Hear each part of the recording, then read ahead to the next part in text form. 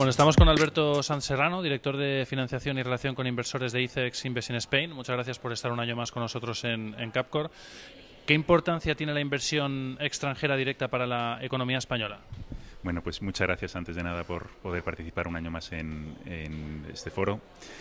Eh, la inversión extranjera directa es fundamental para la economía española desde hace muchas décadas.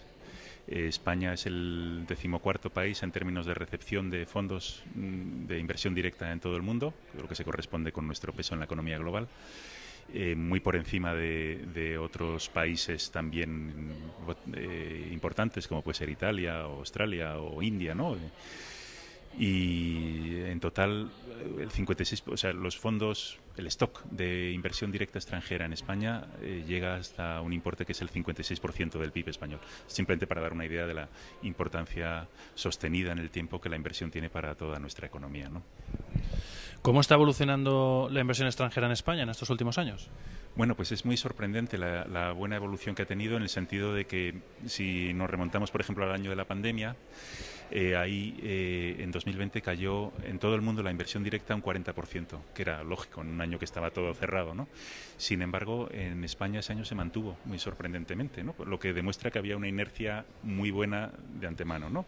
2018 fue un año extraordinario por diferentes operaciones y 2020 pues se mantuvo, ¿no? Pero luego siguió creciendo. 2021, eh, 2022 también fue muy bueno. Eh, de forma un poco anómala a lo que veíamos en nuestro entorno. ¿no? 2023 hemos empezado a ver una cierta normalización, han caído los flujos con respecto al año anterior.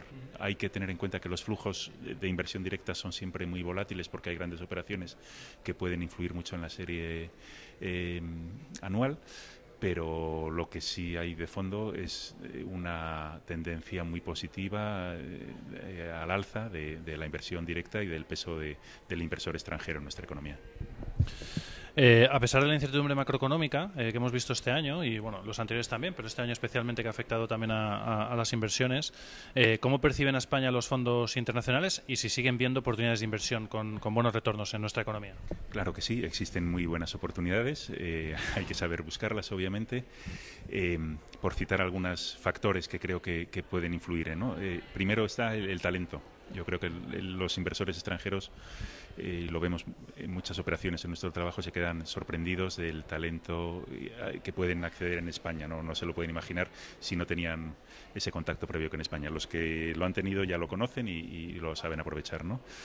Em, hay también una oportunidad en términos del proceso de transformación económica que está eh, sufriendo España en los últimos años, eh, de la digitalización, la transformación para la sostenibilidad. Todo esto está generando numerosas oportunidades eh, nuevas en, nuestra economía. Y yo creo que en torno a esos dos, ejes, el talento, el capital humano y la transformación económica, se articulan la gran mayoría de oportunidades que, actualmente detectamos. Alberto San Serrano, director de financiación y relación con inversores de ICEX Invest in Spain, muchísimas gracias por estar un año más con nosotros. Muchas gracias a vosotros.